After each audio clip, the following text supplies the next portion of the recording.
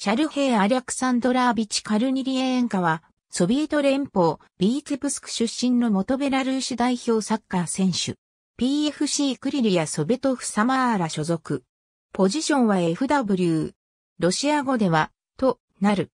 1983年、ソビエト連邦時代の白ロシアビーツェプスクで生まれ、2000年に地元のクラブ FC ロコモティフ -96 ビーツプスクでキャリアをスタートさせた。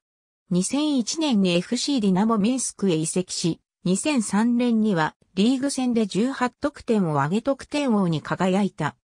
2004年、その活躍が認められて、ウクライナプレミアリーグの強豪 FC ディナモキエフに移籍するも、レギュラーを確保するには至らず1年で FC ドニプロへ移籍した。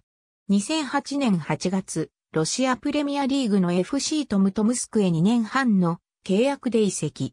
2009年にシーズン途中でクラブを去ることになったが6得点を挙げ、同年のチーム最多得点者になった。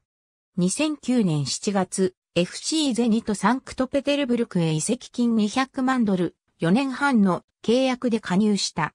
パベル・ポグレブニャクやファティフ・テッケが負傷した際に出場したが結果を残すことができず、2010年にトムトムスクへ期限付き移籍で復帰。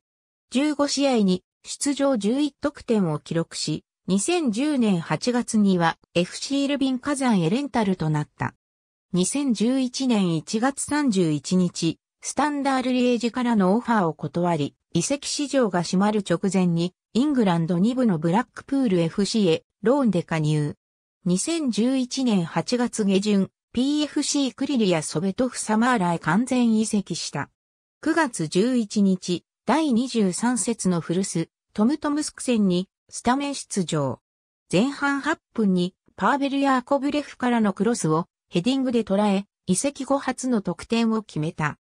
2019年7月10日、現役を引退し、ミオドラグ・ボジョビッチ監督の下でアシスタントコーチに就任することが発表された。12月8日の FC、ウラル戦の後半、判定に抗議し腹心をこづいたためレッドカードを提示され退場。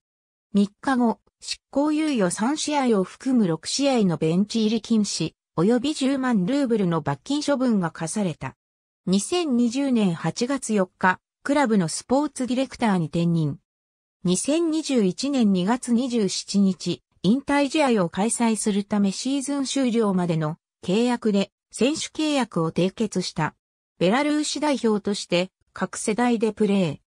ー。2003年7月20日の国際親善試合、イラン戦で途中出場しフル代表デビュー、2から1の勝利で飾った。